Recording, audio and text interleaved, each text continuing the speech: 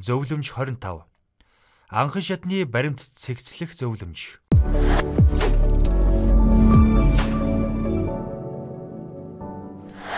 Нэгтлэн бодох бүртгэлийн анхан шатны баримт хөдлөлд юуг анхаарах ёстой вэ? Альва байгууллагын хяналт гэдэг нь нэгдүгээрт процесс суурилсан, хоёрдугаарт бичиг баримтанд суурилсан байдаг. Мөн нэгтлэн бодох бүртгэлийн тухай хууль олон улсын стандартаар анхан шатны хүчин төгөлдөр баримтыг үндэслэн нэгтлэн бодох бүртгэлийн хөдлөлт хийх ёстой байгаа.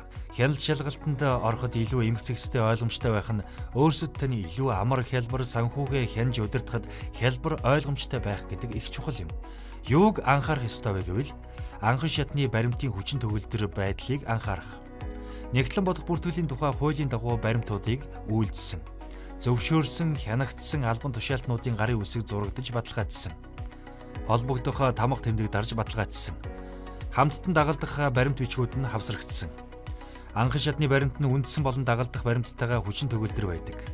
Ямар баримт ямар баримтын хамт хүчин төгөлдөр байх вэ гэдгийг нягтлан бодох бүртгэлийн бичиг баримт дээр баталж бүх ажилтнууд мэдж мөрддөг байх. Тайлан дээр тусгасан бүх гүйлгээнүүд нь анхан шатны баримттай байх ёстой. Зөвхөн хүчин төгөлдөр баримтыг үндэслэн гүйлгээ хийх, бүртгэл хийх ёстой гэсэн үг.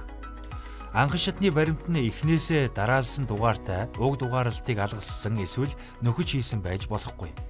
Санхүүгийн тайлангууд болон дагалдах тайлангууд нь бүгдээрээ гарын үсэг зурж баталгаажсан, эхний үлдэгдлээ эцсийн үлдэгдлүүд тулж баталгаажсан холбогдох баримтуудтайгаа тулж байх ёстой анхан шатны баримтын эмх зэгцийг анхаарах. Нягтлангууд нэрв болон санхүүгийн ажилтнууд зөвхөн өөрсдөө ойлгохоор үдэж зэгсэх тал байдаг. Эсвэл бүр замбраагүй үдэж зэгслэгч тал вэ? Энэ ажлыг ямар ч хүн өнөөдөр ороод хийсэн ойлгохоор байх ёстой гэдэг хоёр дахь шаардлага юм. Эмх цэгц гэдгээр юуг хэлж байгаагаа стандартчлаад баталчихвал ямар ч хүн ирээд ажилласан амар байдаг. Тухайлбал баримтуудын хавцас нь бүгд ном шиг хавцлагдсан. Баримт бүр агуулга гарч ихтэй баримт төр эхлэх болон дуусах огноотой. Баримт бүр дагалдах баримтуудаа хамтд нь агуулсан. Баримт бүр он сар өдрийн дараалалаар үдэгдсэн. Баримт бүрийг хайж болоход маш хялбар.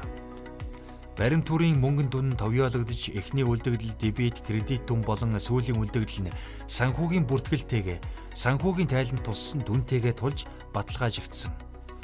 Анхан шатны баримт бүрдүүлэлт дээр хамгийн нийтлэг гардаг алдаа бол хов хүнээс баримт өгсөнгүй гэдэг алдаа. Хов хүн борлуулалт хийж буй бол санхүүгийн баримт гэж байх ёстой. Хов хүний регистрийн дугаар, татвар төлөгчийн дугаар, овог нэр, цагдаагийн бүртгэл бүхий тамхтай баримт өгөх ёстой. Энэ баримтыг худлаа бүрдүүлсэн байх тал бий.